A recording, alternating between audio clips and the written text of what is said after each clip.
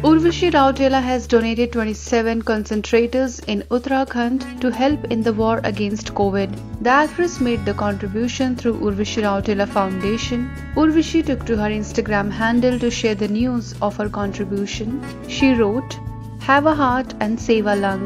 The actress fans appreciated her effort towards helping Uttarakhand in the times of need.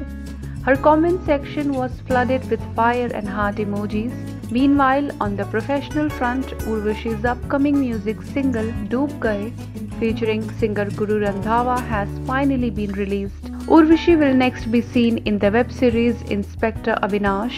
Urvashi plays Poonam Mishra, wife of Super Cop Inspector Avinash Mishra in the show.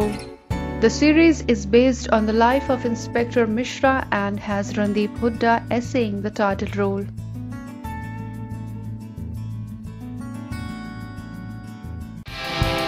Subscribe to our channel. Just click on the bell icon for all the latest updates.